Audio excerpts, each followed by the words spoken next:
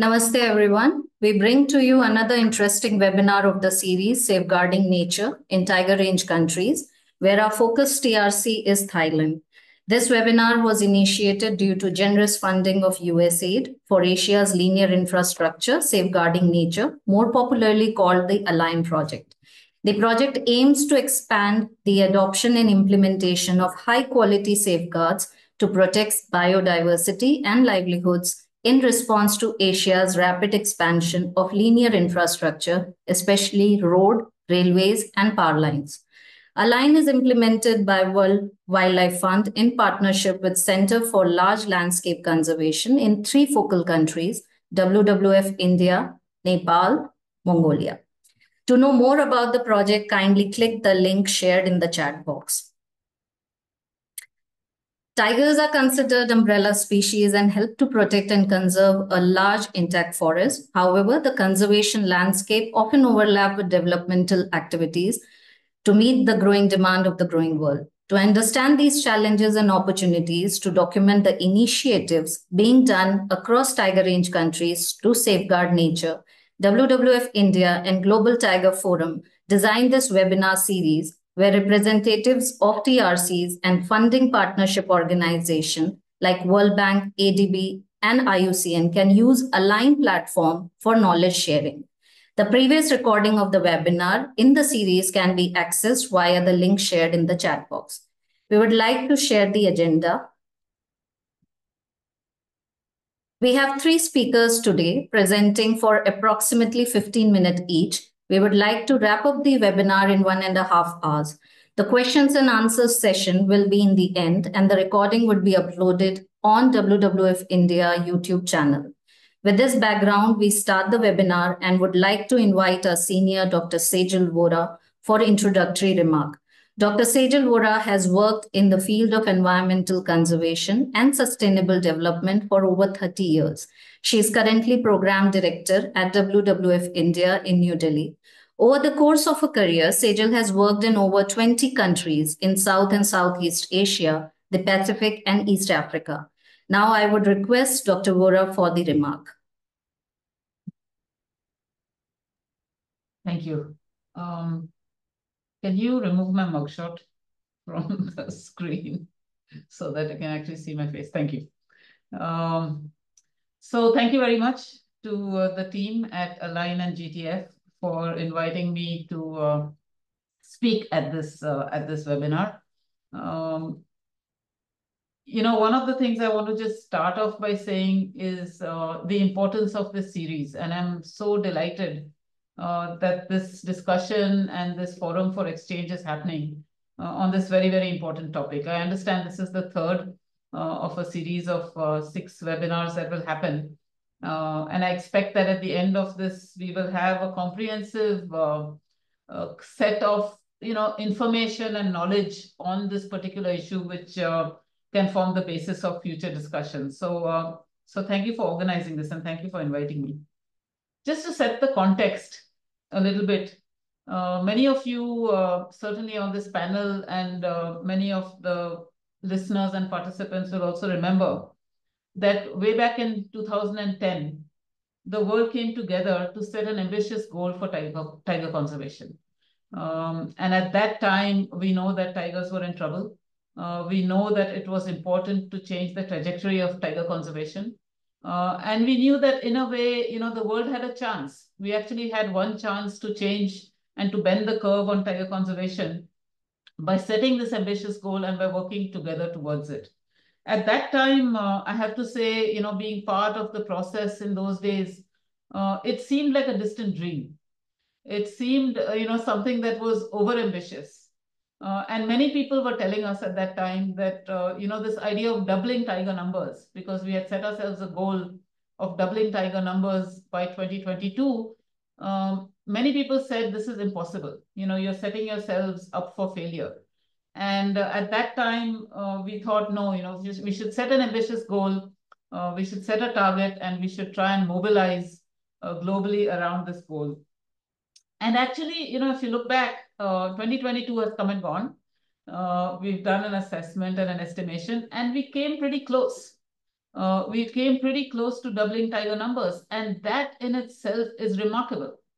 It's remarkable because in this day and age, if you look at a lot of species, uh, and in fact, if you look at WWF's own Living Planet Index, uh, which we publish on a regular basis to look at the status of wild species across the world, we are almost without fail reporting declines.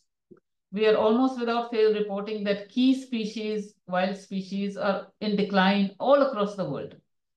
And in such a scenario, where there is a decline in wild species, it is actually a remarkable achievement that for tigers, we have actually turned it around, that we are seeing an increase in tiger numbers.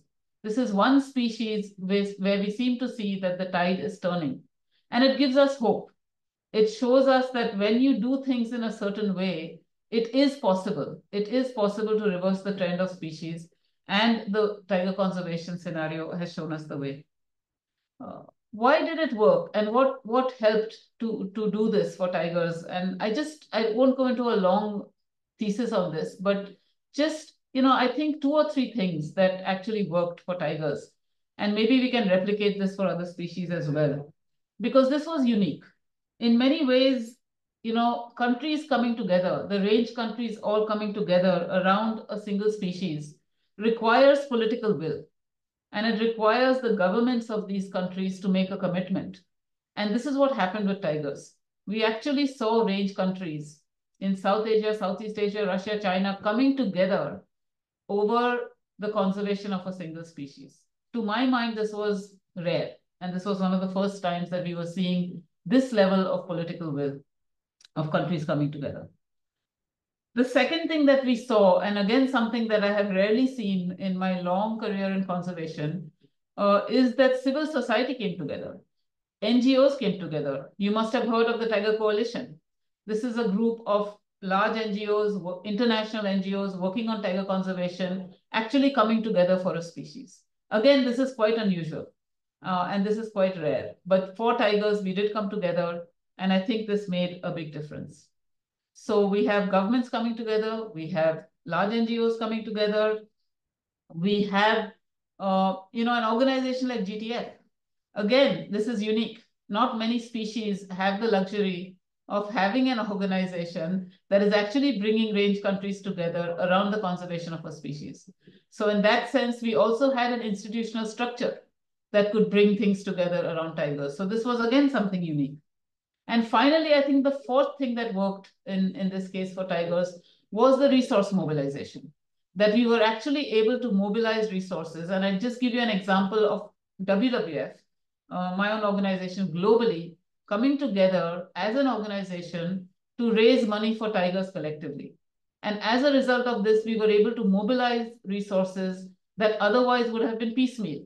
You know, we would have had little money for tigers here in this country and that country, uh, and a lot of this money would be spent, you wouldn't see the impact, but we were able to actually coordinate our fundraising and we were able to raise money for tigers collectively on a scale that we have not raised money for a single species before. And I think all of these things came together uh, to help turn the tide for tigers. And therefore, uh, to me, this is this is a story which needs to be replicated uh, also for other species. And I hope that we can learn from the tiger success story and look at how we can uh, use this model for other species. And I know uh, that across the world, people are talking about looking at a similar model for, you know, for dolphins, uh, for jaguars, uh, for other big cats, etc. So I think we've set the trend for that. But let's uh, let's also think long term.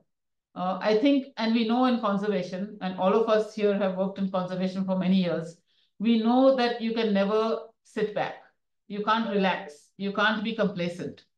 So, uh, you know, we have to think about what does the future hold for tigers? And this is where this particular webinar series and the Align project comes into play because it's looking at the future. And while we may have been successful today, is the are the challenges of the future going to be the same? And do we need to gear up for those challenges? And so the threats still remain, right? The threats have not gone away for tigers. Poaching still remains a threat. Habitat loss still remains a threat for tigers. Uh, and one of the emerging threats, one of the important emerging threats, certainly in many of the Asian countries and range states of tigers, is infrastructure. Uh, you know, all of these countries, including in South Asia and Southeast Asia, we are rapidly developing economies. Uh, in these rapidly developing economies, infrastructure is going to come up. Uh, and linear infrastructure in particular, as we all know, poses a significant threat uh, to tiger conservation. So I think looking at this issue of linear infrastructure and how do we actually come up uh, with smarter solutions for infrastructure is a key element of future tiger conservation. And, and that's why I'm very pleased that this particular initiative is focusing on these two large future challenges of tiger conservation. One is infrastructure and the other is long-term finance. Uh, because while we may have secured the funding for conservation today and maybe for the next five years, uh, what happens in the next 20 years? What happens in the next 30 years? How do countries mobilize and sustain the kind of finances needed uh, for tiger conservation? And indeed, as we know, for tiger conservation also means conservation of forests, of, of landscapes, of other species. How do we secure this kind of landscape level funding in the future? And these are the two issues that uh, are being addressed and, and explored uh, in this webinar series and indeed uh, in, in the Align project. We know that in terms of the finance issue and the sustainable finance issue, uh, there have been a lot of discussions. The recent summit in Bhutan, uh, the Sustainable Finance Summit, took this discussion to a completely different level. And again, um, it's, it's very heartening to see that in many ways, tigers are leading the way uh, for the kind of discussion that is happening on the need for sustainable finance uh, and the kind of mobilization of stakeholders that is being done uh, for sustainable finance.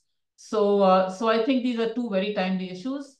How do we develop infrastructure in a way that does not actually completely threaten uh, the existence of tigers? How do we develop infrastructure in a way that is, you know, quote unquote tiger friendly? Uh, and how do we secure the finance that is needed to sustain tiger conservation uh, and conservation of tiger landscapes in the long run? These are two critical issues. And I'm, I'm so glad that this webinar series is exploring these uh, and hopefully coming up with solutions and examples. Uh, today's talk is going to explore both of these issues again, uh, but with a focus on Thailand. And I, I like the way that this series is also looking at countries and focusing on different trade states uh, because each range state has lessons to share. Each range state has different examples, but also things that can be shared across the countries. So it's very important to hear uh, from the different countries about what they're doing, what specific challenges they face, and what solutions uh, are being implemented. And we're going to hear uh, about, about stories from Thailand today. Uh, just as an aside, uh, I'm very pleased to be giving this introduction because Thailand holds a very special place in my heart. Uh, I lived in Bangkok for five years. I have explored many of the national parks in Thailand. Um, it's it's an amazing country. People think that Thailand is uh, you know mostly tropical forests, but actually it has a huge diversity of landscapes, including montane habitats where tigers are found. You'll be surprised, uh, especially the Indians here, to hear about rhododendron forests in Thailand. Uh, it's it's actually got a huge diversity. The other thing I think that is uh, unique about Thailand and which I really uh, appreciated is the dedication and commitment both of civil society, you know, Thai uh, NGOs working on wildlife conservation, and also the government. Uh, because everywhere you went, you saw, you know, uh, dedicated staff, you saw well-managed parks, uh, and it was a pleasure actually to interact and, and visit many of these areas because there is so much interesting work going on in Thailand, which maybe is not shared enough and not talked about enough. Um, so it's great that we have uh, you know, Khun Somphot and Khun Somporn here on this talk to tell us about what's going on in Thailand. Uh, in many ways, also for tiger conservation, we know that Thailand is a beacon of hope for Southeast Asia. Uh, you have not only secured but increased your tiger numbers. Uh, and we are very keen to hear uh, both what is going on in the parks um, and, and the research and the management in the parks that is helping to secure tigers in Thailand. And also very interested to hear the case study uh, on linear infrastructure and how uh, Thailand is working uh, to secure and to develop roads in a way that is wildlife friendly. So I think that's going to be a very interesting talk. Also, uh, Phurba is here to tell us about IHTCP, and that's going to cover the finance angle and the collaboration angle, because we know that without collaboration, uh, conservation is not going to be sustained. So we are eager to hear also uh, from Phurbaji about uh, ITCP and the funding model that, that they follow and how we can encourage actually other funding organizations also uh, to follow similar models. So with that, I'll, uh, I'll end my introduction. Uh, looking forward to hearing uh, the examples and the experiences of our colleagues from Thailand and also Phurba. So again, thank you very much to GTF and to Align. Uh, and look forward to the to the presentations and the discussion to follow. Thanks.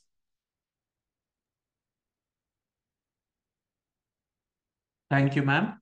I now take this uh, opportunity to invite our uh, first speaker, Mr. Phurba uh, Lhendup, who brings over 25 years of conservation experience across several themes in Bhutan and beyond.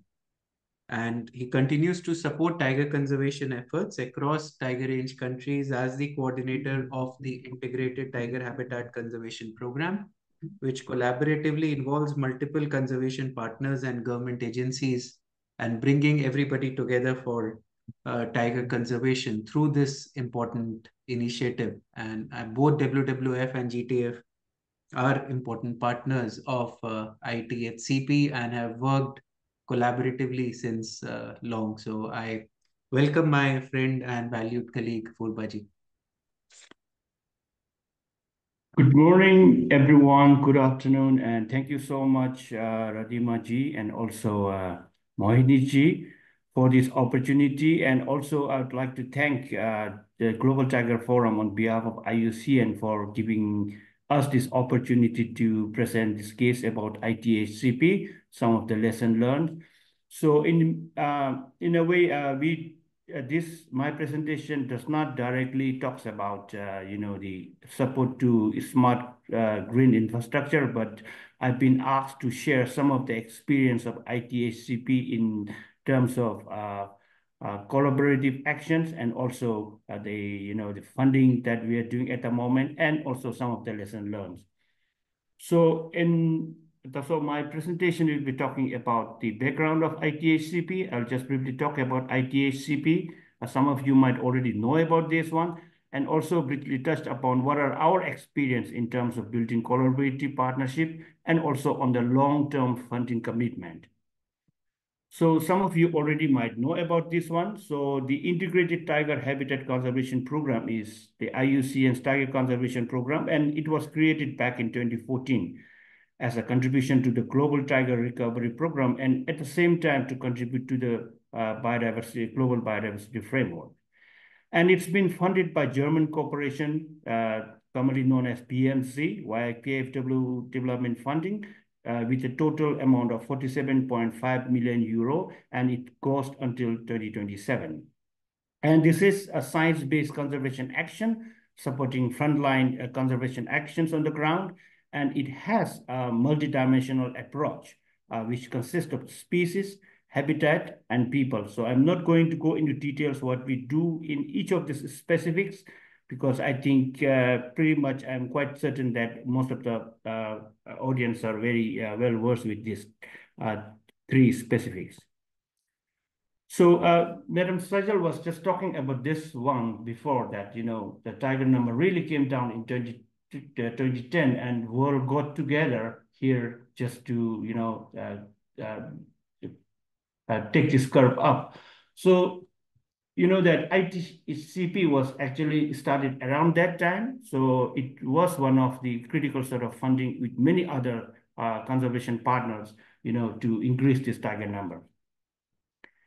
And then just to give a brief overview of the portfolio. So this is actually where we work. And since from 2014, ITHCP has been working in phase manner. For example, the phase one uh, ITHCP has funded about 17 projects uh, amounting to 17.78 million euros.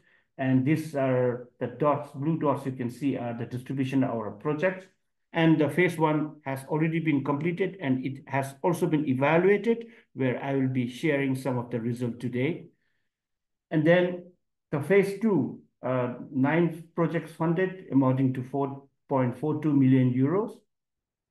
And then in phase three, five projects, 3.49 million. And currently we are in uh, phase four. Uh, this is tranche one. We have started two projects. Phase one, four is divided into tranche one and tranche two. And in tranche two, the recent one, we are in the process of preparing six more projects worth 10.7 million euro. And these are the distribution of our projects. And currently, as I said, phase one has already been completed, evaluated, whereas phase three to four, it all runs in parallel at the moment. And the total projects funded so far by ITHCP is uh, 40 projects, uh, amounting to 38.42 million. And then I just also want to stress that in ITHCP, uh, we follow this ESMS application very strictly. And this is the process how we follow. Once we receive the concept note, then we have the preliminary approval or the screening, then we have detailed ESMS screening, then it, we go to project development where ESMP is prepared, and then we have monitoring and also evaluation. And then uh, I think the built-in collaborative partnerships on uh, in terms of ITHCP implementation is, I think, a very important aspect in this program. And we work with wide varieties of key partners. These are our key partners you can see here uh, who implements our projects in the field. And in particular, I would like to uh, give an example of this consortium uh, which works in Central Sumatra. Um, this is a consortium called uh, Kirapat Con Consortium for Human Tiger Coexistence in Rimbang Baling Wildlife Reserve in Central Sumatra in Indonesia. Uh, I was there quite recently to look at the project and I'm very much impressed with the result they have. So this project is implemented by a large consortium. For example, like this is a government, uh, provincial government, and then we have the national NGO called YAPIKA who takes uh, leads and then these are being supported by, you know, various other uh, organizations like Indecon, the Ecotourism Network, the Sumatran Tiger Conservation Forum. This is, of course, ITHCP logo. And then this in turn are supported by, you know, the local uh, NGOs. Sorry, uh, yeah, the local partners. So in a way, this is a very big consortium that has started since 2015 and has been still uh, going on there. And they have been really uh, doing very good work in terms of uh, balancing this the uh, coexistence. And then now I would like to briefly touch upon some of the lessons learned. In many ways, I think um, these are kind of a generic one, and also this can apply to other projects as well. And also, I think we can also sort of try to preempt, you know, if you are going to start a new program, something like this, you can preempt as well as, but nevertheless, these are some of our lessons learned so, so far uh, from building collaborative partnership. The number one is importance of trust and communication. We have realized that, for example, like active listening, creating a space where all partners feel heard and valued is very important. And this is followed by a transparent communication, you know, sharing information openly and honestly to build trust among all the partners. And then, of course, uh, conflict resolution, developing effective mechanism for resolving disagreement and disputes. And most of this, we address this during our ESMS application at the pro project uh, preparation stage. And then the value of shared vision and goals. Uh, it's very important to have a very clear objectives being established as a shared vision for tiger conservation that, uh, you know, aligns with the goals of all the partners. And then comes the collaborative planning, which should involve all partners in planning and implementation of conservation initiatives, regular evaluation, which is part of the standard ITHCP protocol, monitoring progress and making adjustment as need to ensure alignment with the shared goal. And then, of course, the need for mutual respect and understanding. We learned that this is very important because, you know, there are like cultural sensitivity. So we need to require uh, sort of recognize and respect the cultural difference of each partners. And these are very important, especially if you work, uh, you know, uh, for example, if you work in a transboundary landscape, for example, like uh, we work on transboundary landscape in Terai Arc, in Sundarbans. So it is very important to recognize this cultural difference. And then inclusivity, uh, inclusivity is very important, ensuring that all partners feel valued and included in the decision-making process. And then, of course, empowerment, uh, especially empowering local communities, you know, take the stewardship of the project is uh, uh, very important as well. And then the another important thing is importance of long-term commitment, you know, uh, securing long-term funding for supporting ongoing conservation activities, then capacity building. Uh, we really need to invest in capacity building of partners to ensure the sustainability of the uh, collaborative effort monitoring and evaluation, evaluation, which I have talked, I think, regularly assessing effectiveness partnership and making necessary adjustment. And then, of course, the role of the effective leadership in each of the partners' organizations are also very important. For example, like providing clear direction and guidance to partnership, you know, creating a supportive environment where partners can contribute and collaborate effectively. And of course, there needs to be uh, sort of an accountability, you know, holding partners accountable for their commitment and also for the contribution.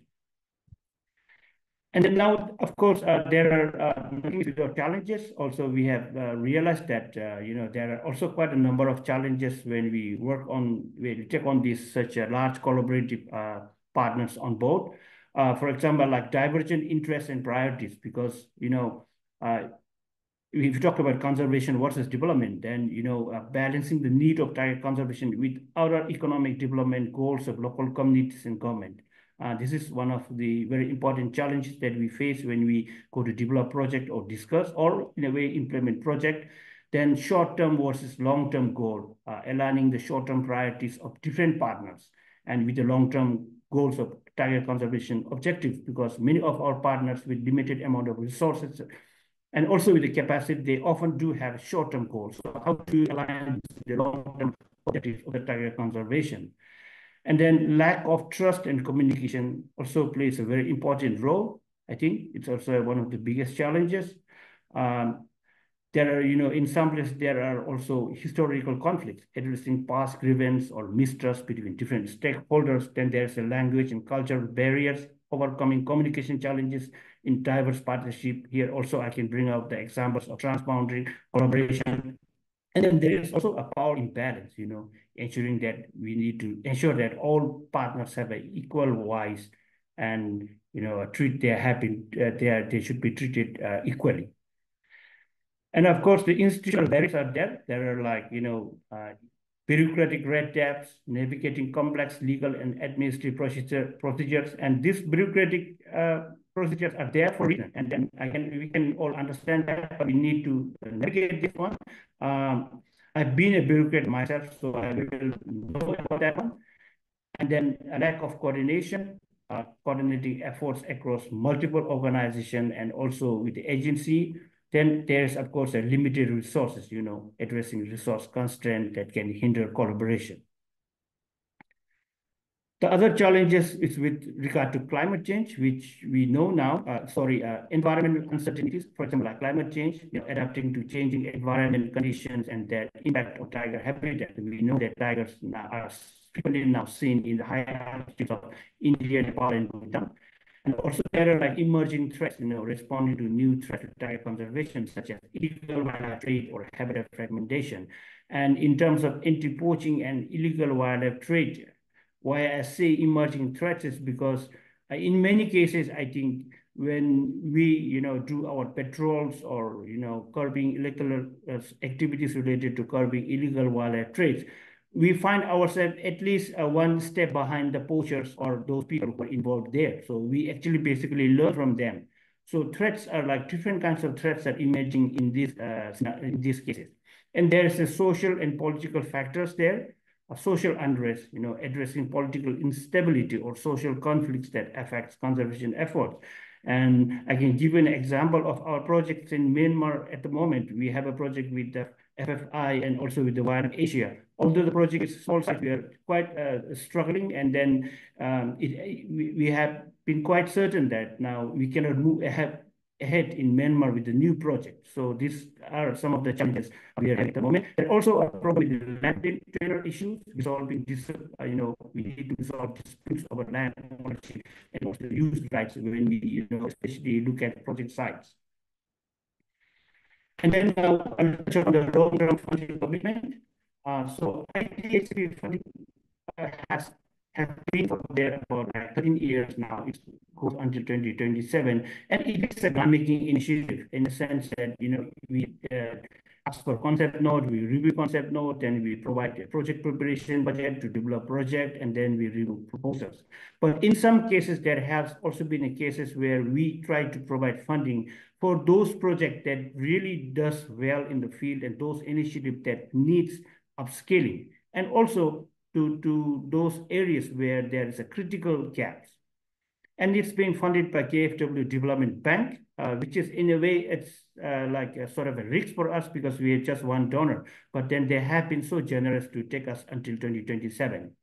And then quite recently, uh, I think Dr. Sejal has mentioned this in the in a keynote that we have Tiger Conservation Coalition, we have been doing some sustainable financing studies for different tiger landscape. So we are looking, looking into like how we can sustainably fund all the tiger landscape in the years to come. Now, in terms of lesson learned from IT long-term funding commitment, uh, I would say that in terms of tiger conservation, this is fairly uh, sort of a long-term commitment because it's uh, about 15 years and these are, I think, some of the lessons learned that we can share with you. The first one is value of consistency and sustainability is very important. Uh, we need to avoid project interruptions because ITHCP recognizes the importance of consistent funding, you know, to prevent, to prevent disruption in conservation efforts. And scale and impact long-term funding have enabled ITHCP to implement, implement larger projects and achieve greater impacts. Most of our projects are between 1 million and 2 million. And then the long-term vision, uh, ITHCP's commitment to long-term uh, funding has allowed us to focus on addressing a complex issue of tiger conservation. And then the power of strong strong partnership, which is uh, very important that we launched, the trust and reliability. Uh, basically has a strong partnership with government, NGO, and local communities uh, through its consistent funding commitment and the collaboration. Long-term funding has facilitated a collaboration and coordination among part and then the risk uh, mitigation of ITHC have found that the long-term funding helps to mitigate the risk associated with short-term funding and fluctuation. So um, the third one is need for a strategic approach. So in terms of addressing complex challenges, uh, we have learned that need for strategic approach to address the challenges for agriculture is very important. And then the habitat restoration, you know, the long-term funding has uh, enabled ITHCP to uh, invest in various sorts of habitat restoration, habitat management, etc., which I think far is a very important thing. So, you know, especially when we talk about the human conflict, I think if we are able to manage the habitat you know, try to wildlife inside the forest, I think that is the first thing I think we're looking at the cost of you know, management. And then the integration, integration you need to have self funding, which uh, supports sustainable trade in poaching, which is ongoing problem, expanding and properly. The importance of driven decision making uh, is very important. Uh, in terms of monitoring and evaluation, uh, we found that THCP has used a long-term funding to support its ongoing monitoring evaluation of this efforts. Uh, in terms of adaptation, uh, we have been able to adapt our strategies on data and also getting standards. And in terms of success measurement, uh, has enabled to measure and the overall impact of its conservation. There is a benefit of capacity building, which is one very important aspect that we have learned. Uh, training and development, uh, ITHCP has invested in training and development of the staffs and also partner. And in the infrastructure, the funding has enabled at ITHCP to invest in infrastructure. We, as I said, we have invested in smart infrastructures or inner infrastructure, but we have invested in infrastructure in the protected areas, you know, such as rental sport, office facilities, or field equipment uh, like that. And then the last one is innovation. Know, consistent funding has provided development of a lot of new ideas in the field. So with this, I would like to end the presentation here, and I would once again like to thank for the opportunity, and I would be very happy to answer any questions that you might have. Thank you so much.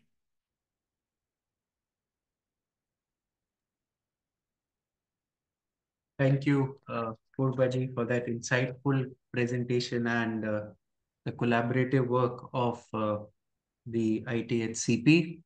I uh, now invite uh, Mr. Sompat Duang Chantrasiri. Uh, and Somphot has been leading tiger and wildlife conservation work in the famous Western Forest Complex of Thailand. He is also the GTF focal point on the tiger agenda and has representative and has represented Thailand in several international fora. He currently heads the Khao Nang Ram Wildlife Research Station under the Department of National Parks, Wildlife and Plant Conservation, Thailand. And he, over the years, he has promulgated science-based conservation management and has authored several peer-reviewed research work and has overseen a lot of field projects on the ground. So I welcome my friend Somphot. Hmm. Thank you, Monish. Uh, but I would like to thank the host for invite me and my colleague to be a speaker for, for this webinar. Uh, my talk today, I would like to share with you about uh, what's going on on the tiger conservation in Thailand for the last decades. You hear me? Next. Uh, Thailand have uh, 12, uh, since 2010, we have a National Tiger Action Plan as a guideline for effective conservation for tiger and their habitat, especially in the priority landscape. And we are able to achieve the target through the, the implementation of the plan with the key implementation activities such as uh, strengthening the habitat protection with the smart patrol system and rigorous monitoring system and international collaboration with the uh, uh, uh, the NGO for tiger conservation effort. Next, please.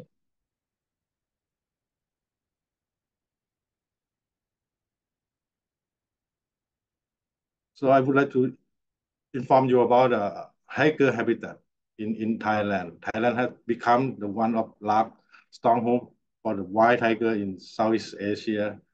Uh, they are exclusively in the protected area, which is considering large forest landscape. Over only 5% of Thailand total area, or just 25,000 square kilometers, as shown on the map. And we uh, classify the habitat of tiger into category. One is the first priority landscape, uh, which contain the tiger source population, which are in the green box. First one is uh, in the west, Western Forest Complex, or we can call WEFCOM, is a high tiger population. Yeah, and another priority landscape is Dong Phayayen Khao Yai Forest Complex in the eastern side of Thailand is support the moderated uh, tiger density. And beside of priority land habitat, uh, we have potential landscape in the blue, in the blue block, uh, which have contained low tiger abundant or no evidence, but still have a pay in the area. Next, please. And today I, I would like to highlight on the tiger conservation in, in, in the Western Forest Complex. Uh, is uh, approximately 800, 18,000 square kilometer is comprised 17 protected area. And we have focused the conservation effort in the three protected area uh, composed at the core area of WEFCOM we call Thung Yai and Huai Kha Khaeng. After this, we, I will say HKK TY something. Uh, it contains highest number of tiger and in WEFCOM, and we have uh, about 100 of park rangers for for protect the wildlife and habitat in in this area. Next, please. Uh, the key intervention intervention for tiger recovery in the WEFCOM is strengthen the, the, the, law enforcement system by using the smart patrol technique with the for wildlife and protected area management.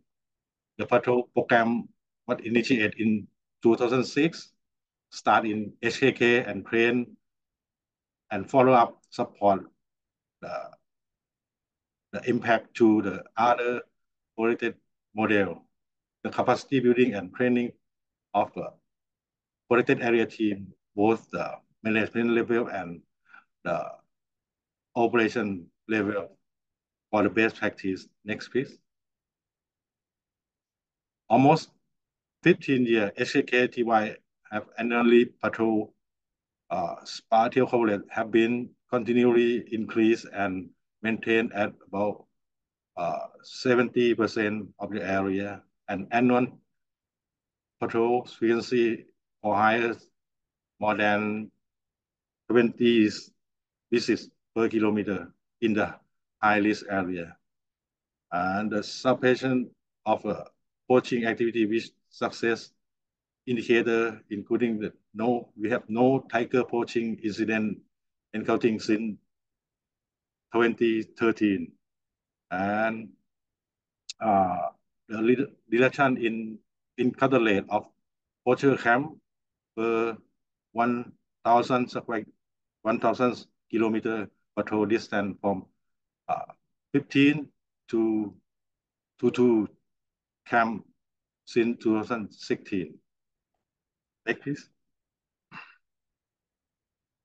And the smart the system, the smart patrol system had been uh, expanded to cover other protected area in WEFCOM and right now more than 120 protected area across Thailand. Next, please.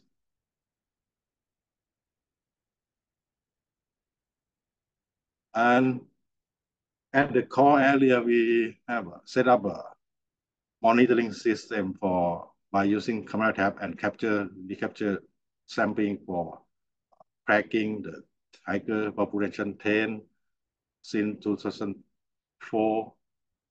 Uh, and we and we have survey annually. Yeah, next please. This is a result from the last season. We uh, have set up four 20 location in, in HKK cover uh, about 60, 60% of the, of the protected area. It's about, and we got uh, 123 uh, adult tiger for, for, for last season. Next, please. Uh, okay. Uh, from since 2007, we have uh, set up, we got uh, 60, but for, sorry, 46 tiger was kept, was captured by photograph. Uh, and right now is come increasing uh, to, to 200 more than double the tiger in, in this area. And the main uh, area for the tiger is in HKK. Next, please. Uh, and next, please. And we also uh, uh, study on the uh, pay density by using the line transect and distance sampling. This graph show you the uh, the result from 2006 to and 2008, and we did it again in 2021. We found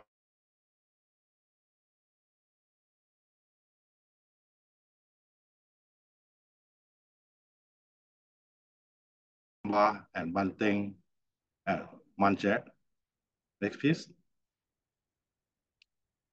And also the elephant, this is this photo show you the distribution of the elephant in 2008 and 2020.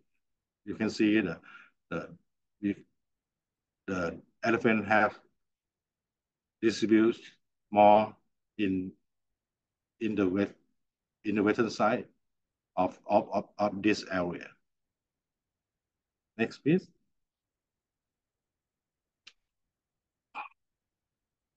to establishing the standardized the monitoring system for the tiger population.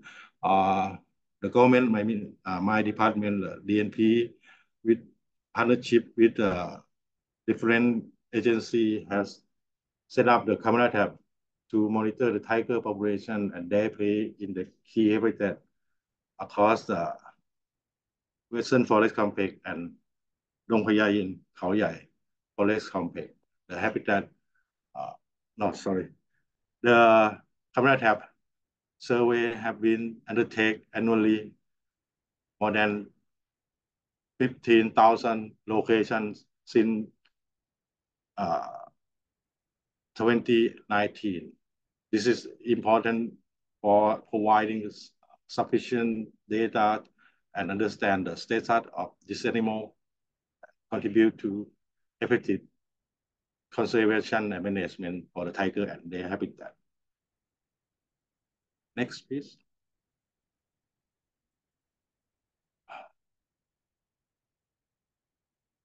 So this is the some data we. Uh, the Western Forest Complex and SAK are the most valuable tiger source population in, in Southeast Asia. We have captured many tiger originate from HKK, EY, and now have settled and breed in, in the north and the south of, of Vietnam. And our monitoring at last year also give us the information that we can use for uh, further the conservation intervention. And all of the, the we have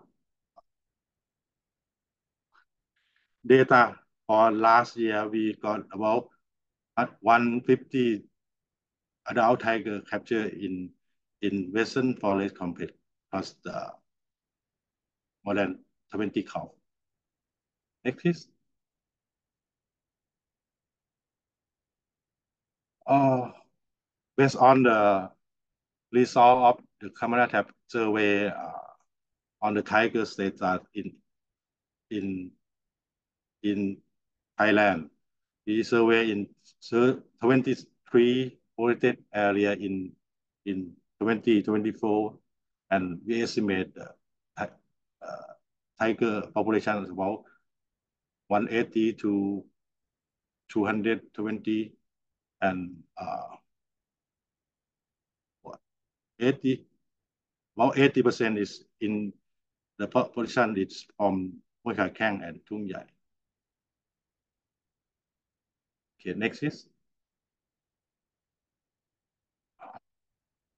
And now we are uh, have uh, developed the national tiger action plan uh, is for the next 12 year that have been approved to be uh, used as a guideline to effective uh, conservation of the tiger and their habitat under the high standard and monitoring system to the active participation for of the, all the stakeholders and the key activity include in the action plan in cover various dimensions as present here and we focus on the, uh, the to recover the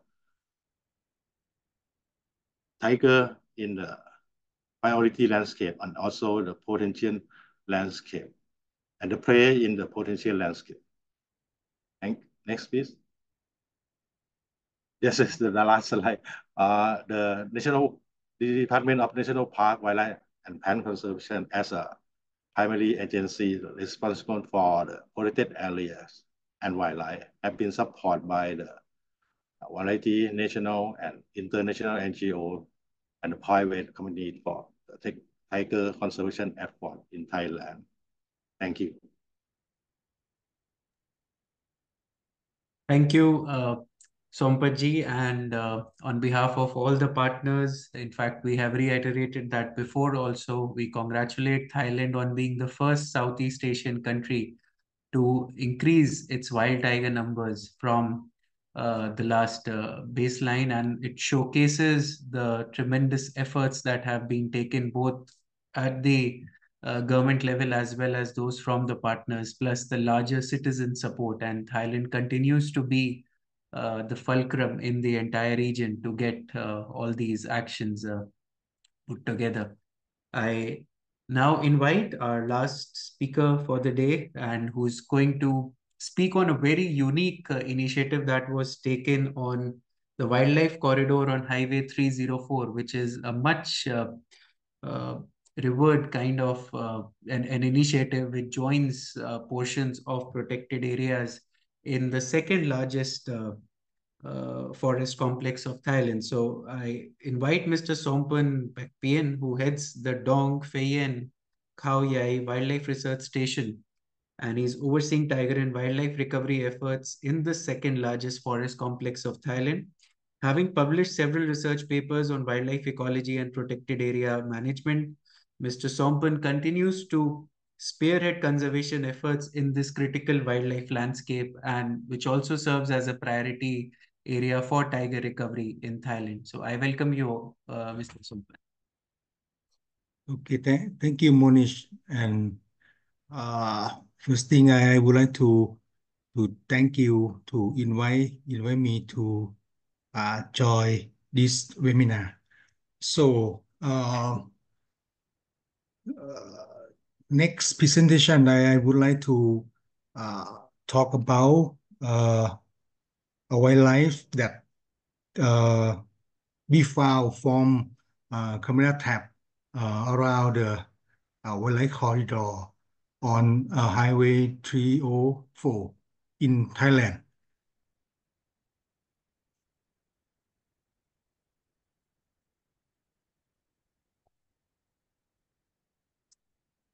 The Dong Phayen Khao Yai uh, forest complex is uh, comprised of five protected areas, including uh, Khao National Park that that on the on the left side. Uh, next from Khao is uh, National Park and and Pang Sida National Park below the the uh, Thaplan National Park. And two protected areas are uh, Ta Phraya uh, National Park and Dong Yai Wildlife Sanctuary. Uh,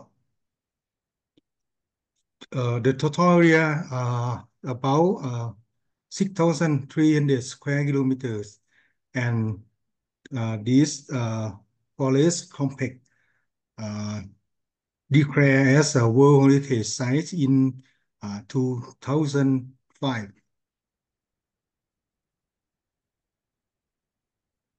Uh, for the the Dong Phayen Khao Yai uh, uh, Wildlife Research Station uh, was established in in 2018 as the DNP agency, which is located in Thaplan National Park. Uh, the aim of Wildlife Station is uh, to study uh, the, the wildlife uh, uh, the wildlife ecology and uh, monitor, monitoring uh, monitoring the key species of, of the forest complex. This landscape also plays as a second stronghold of uh, tiger in Thailand. And this map, this map uh, show you the potential habitat for, uh, for a tiger. That data is from past, past occupancy survey. Uh, we found the tiger in four area except Khao Yai National Park. So uh, in Thailand, we we try to uh, recover the tiger uh, to Khao Yai National Park again. So we we we we build a a wildlife corridor uh, to connect uh, Khao Yai and and and Thap Lan National Park.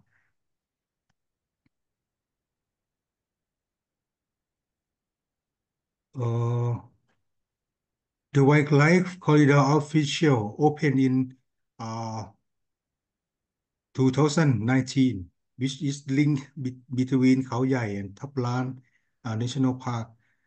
Uh, the project has been divided into uh, uh, three sub-projects. One is uh, overpass or a tunnel that that you see in the in the screen, and two underpass or flyover.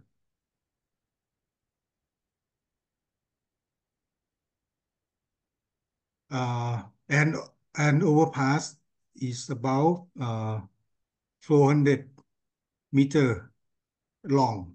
I mean, I mean the the the uh, tunnel that uh, and and two flyover is is is uh it's eight meter above the ground over the distance about uh 340 and 570 uh, meters.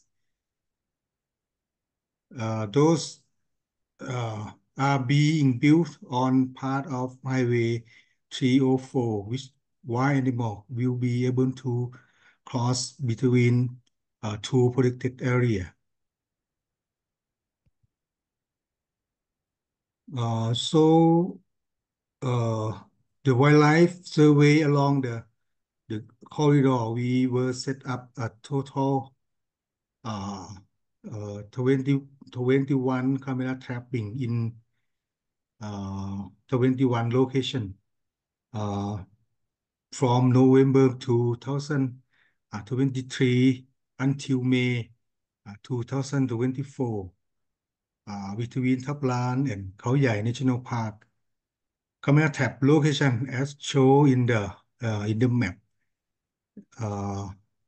as the red red dot. So uh,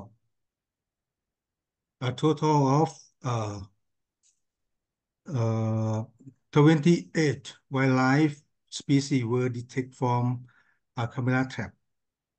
Uh, of these, based on IUCN status, uh, one species is classified as a critical endangered species, Ashowa pangolin, and uh, three species are endangered uh, elephant, dhole, and uh, last spotted civet.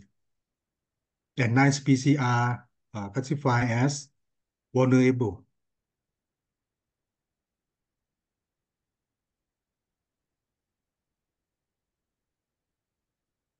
Uh, SPC were detected at the the underpass. Uh, the species list uh, as shown in the table. Uh, uh, elephant, uh, big, uh, big uh, animal uh, until a pigtail macaque.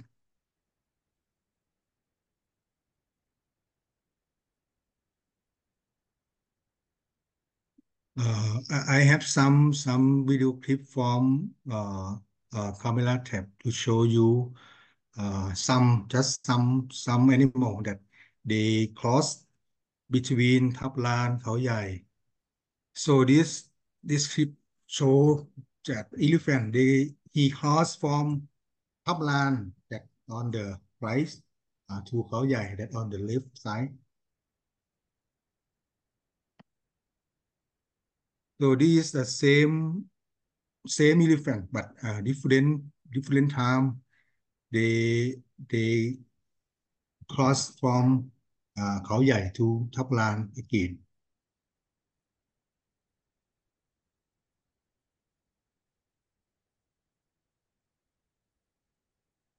Uh, this species is cow. They uh, they cross from Thaplan to Khao Yai National Park.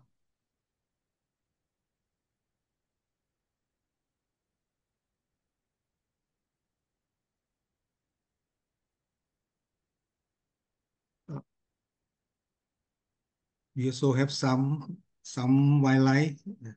This this uh muntjac is uh, feeding uh, under the uh, oh, uh, underpass of flyover. Uh, Sambadia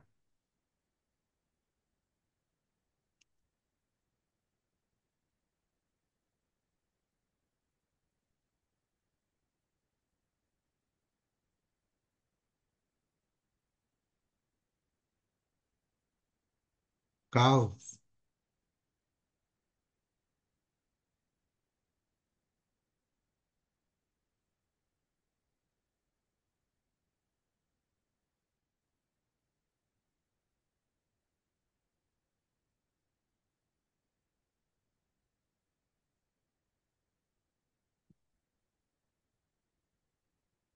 These are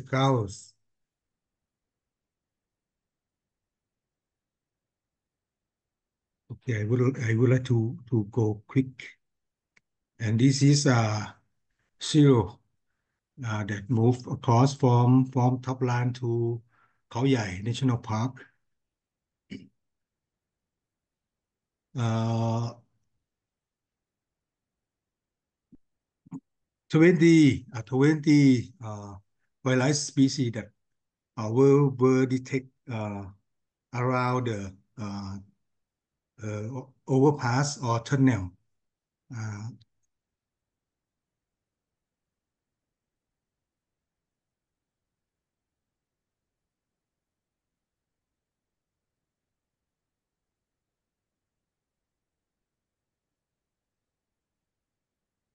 um, again, I have some uh, video clip from uh, from the the this this point. This clip uh, it show uh, somebody uh, they are crossing the tunnel uh, that that uh, they cross from uh, Thap Lan to uh, Khao Yai.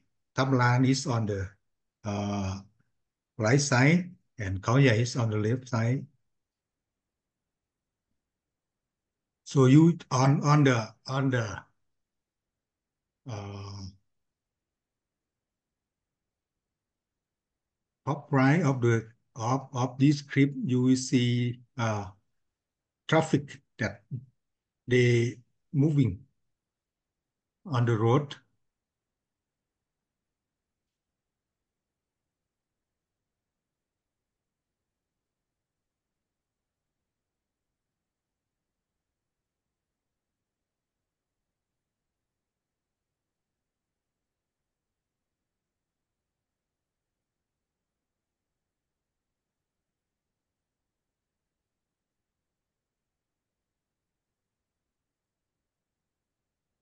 And uh,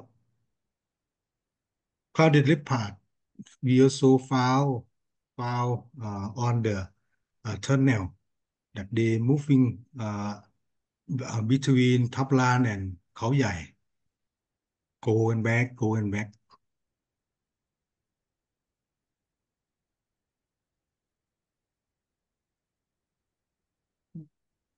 on the on the top of the tunnel, we uh, we also make a like a, solid for for uh, wildlife.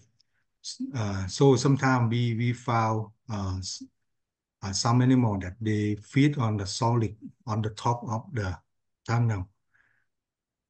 The objective of the solid we that we made is uh, uh, for uh, for wildlife uh, to use the uh, corridor and and cross between Khao Yai and and Thap Lan.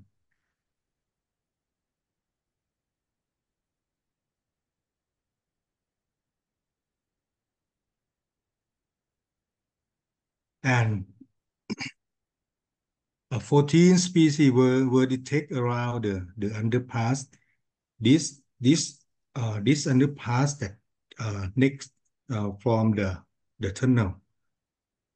Uh, the species list uh, as in the table, like uh, Asian elephant uh, until uh, uh, small small animal like a uh, red jungle fowl that we found uh, from this uh, wildlife corridor.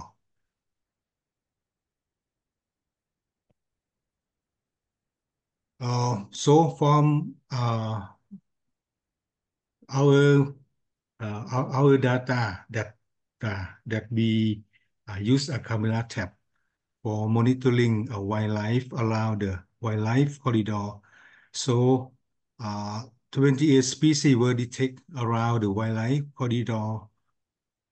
Uh, and we found elephant uh, crossing uh, both uh, uh, flyover or both uh, underpass, but we never found elephant crossing the, the tunnel. And also we, we found a tiger track uh, around the, the uh, flyover or uh, uh, underpass it's about five meters away from from wildlife corridor that wildlife corridor sorry that we hope uh, tiger uh, they will move from Thap Lan to to Khao Yai soon. We hope that and we try to uh, control uh, uh, trade to so I think is one is one one thing is important to to uh, if we, we want if, if we want to uh, target uh, disperse from from Thap Lan to Khao Yai, so we have to to to control this too. Thank you. Thank you, uh, Mr. Somporn. And uh, uh, so it's as I had mentioned earlier, and what you rightly pointed out, this wildlife uh, corridor 304 serves as an important role model in the entire region because it's it's not only the science and the engineering behind it, but it's also the aesthetics. The so we, we have been trying to make a lot of linear infrastructure, but sometimes it leads to more gaps uh, on the adjacent sides, or sometimes it's not as per the requirement uh, in a in a given area. But but as we can see, the kind of movement that is happening in this particular uh, landscape, and it's also a model where both the underpass and the uh, the the overpass have been used uh, together and with, with species like clouded leopard moving which is quite elusive otherwise uh, and the, the traffic flowing right below it, it showcases that these uh, habitats can actually be uh, protected to so because we cannot protect all the linkages but at least some of the important linkages that you have been able to uh, showcase in this particular uh, presentation is is commendable. Perhaps it's one of those uh, structures where we see the maximum species diversity moving in given the rich biodiversity of uh, of Thailand and uh, the plethora of mammal species as we saw that that were using this particular uh, space. So I I think it's it's really a great model to to replicate and also to uh, take it to other uh, tiger range countries and uh, almost all trcs are now working on on the green infrastructure mitigation and so we congratulate uh, thailand both on the tiger uh, number increase as well as such innovative uh, design and structural engineering that has taken place to protect this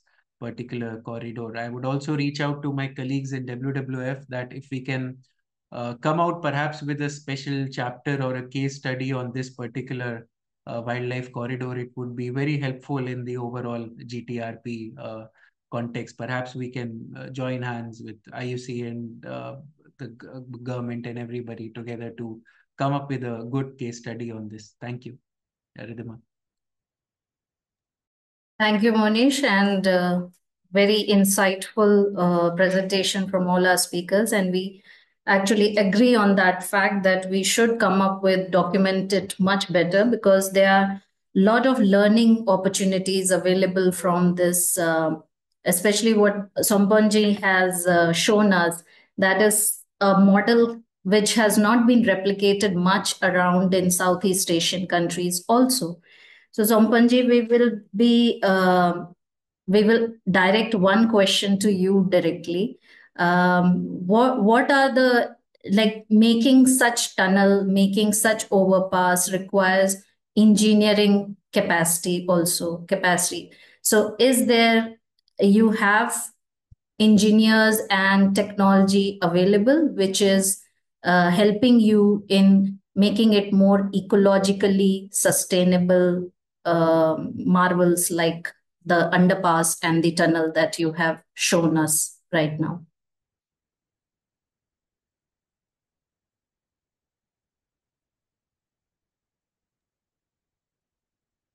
So, uh, Somporn, uh, so the, the, there's a question uh, from you that uh, what is the so when we are undertaking such a project in Thailand, is there uh, inherent capacity uh, within the country? What what are the departments uh, involved, and what is the engineering capacity to to build this kind of a project, or is it also a partnership between uh, different institutions? So just wanted to know how the how these structures are thought of and uh, the engineering that goes behind it. Somporn, to you.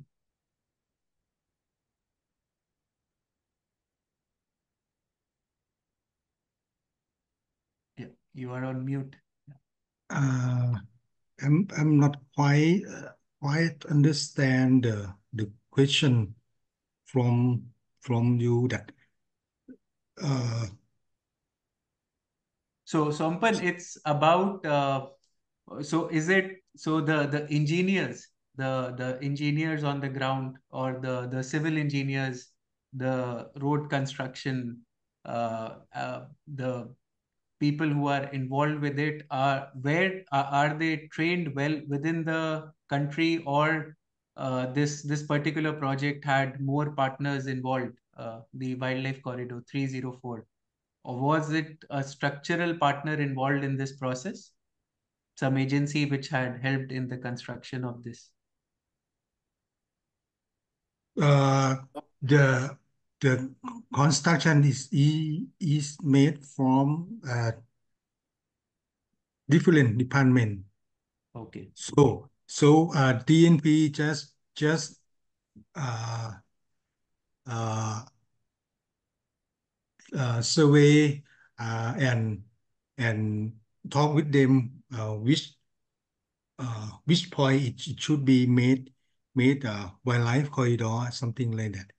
So for uh, about uh, engineering, I I I I cannot answer you. Yes, Ridhima. Thank you, Somporn ji. Uh, I think we can take up one question from um, the question answer, which is uh, again talking about uh, the corridor management. So either you or Somphot can um, talk about the the will the action plan be looking into the corridors also because you listed the action plan uh, for coming upcoming action plan will the corridors and connectivity will be a part of the action plan or not? Yeah um, the view of the corridor is a part of, of action plan, especially for this corridor, we, we would like to improve the habitat around that corridor for tiger and prey can cross this corridor because in the western side of this complex, we have we lost the tiger for for more than 10 years. We hope that uh, tiger would like come back, will come back in in in in Khao Yai by uh, the population from the Thap National Park. And this corridor, uh, as a first question to uh, Somporn, the the Department of Highway have an engineer and design a project for develop this highway and and they consult with uh, DNP for uh, for the EIA and also the the place that we choose for appropriate location for the, this part, under part and over part. Yeah. We we have survey uh before uh before develop this road, this this corridor. Uh, the team, the wildlife team, had to go to survey around along the road for for for the good spot for set uh, for build the, the, the corridor.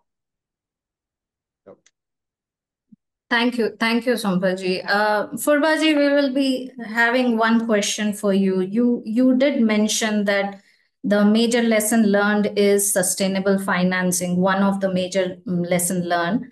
Uh, but it is often difficult if large landscape, inclusive of various partners, and also addressing the climate change impact which which may not have the same intensity across different parts of the different tiger range countries or so in in such a scenario how do you suggest we deal with such challenges if we are going to replicate the ITHCP model elsewhere also uh, thank you very much Ridhimaji for your questions well, certainly, I think uh, there needs to be some sort of a long-term funding that complements ITHCP. There's no doubt we need that because we know from the fact that when we do call for proposal, our funding is limited that we can fund, you know, six to seven large projects.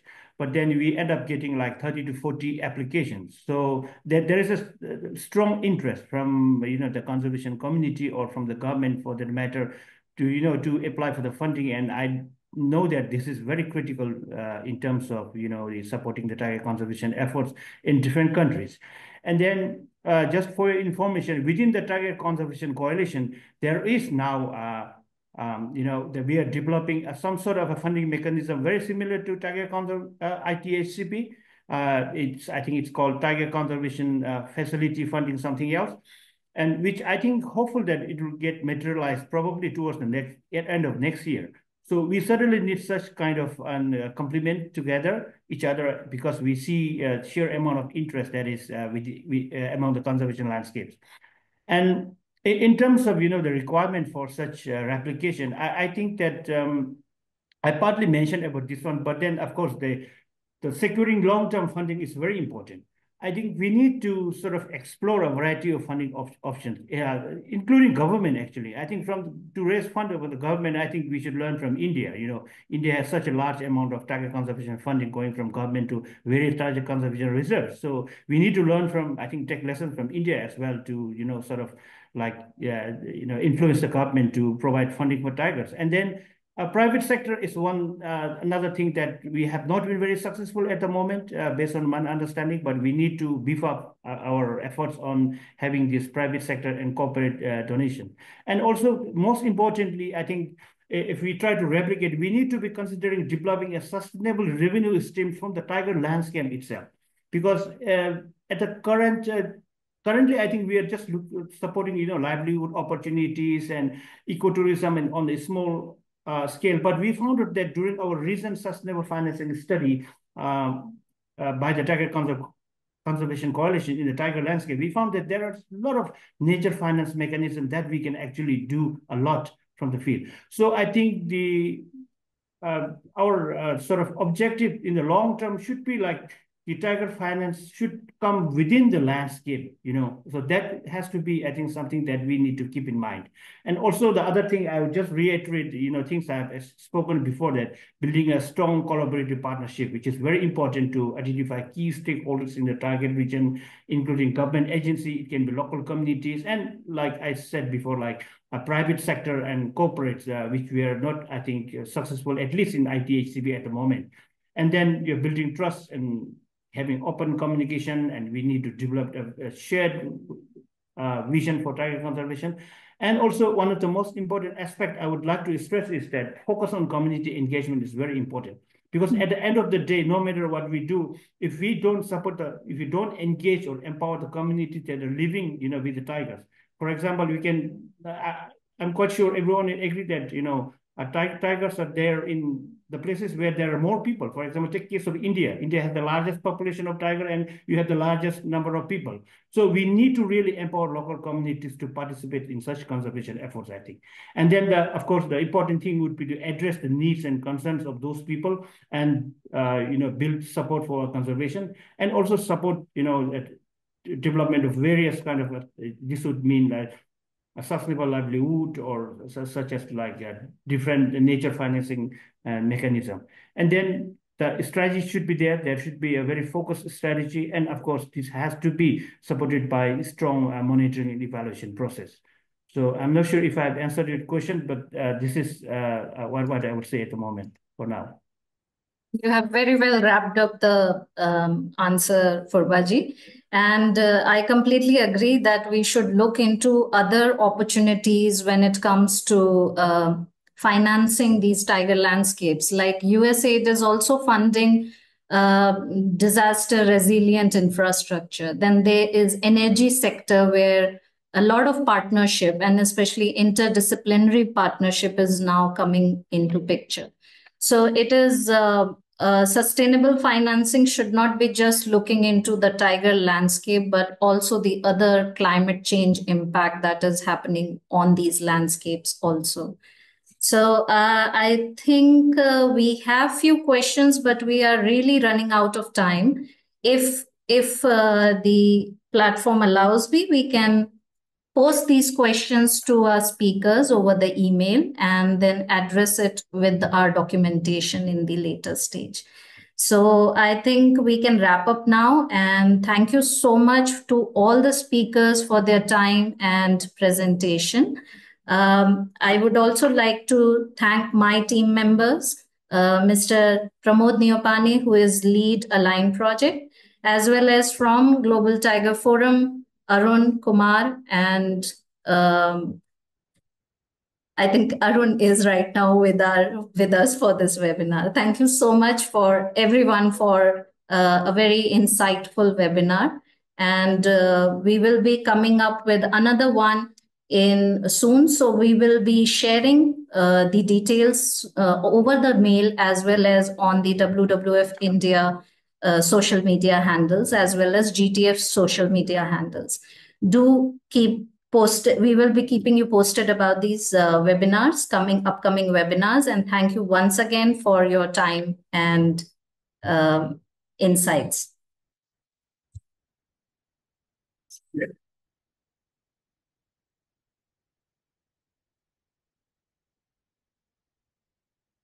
Thank you, everyone.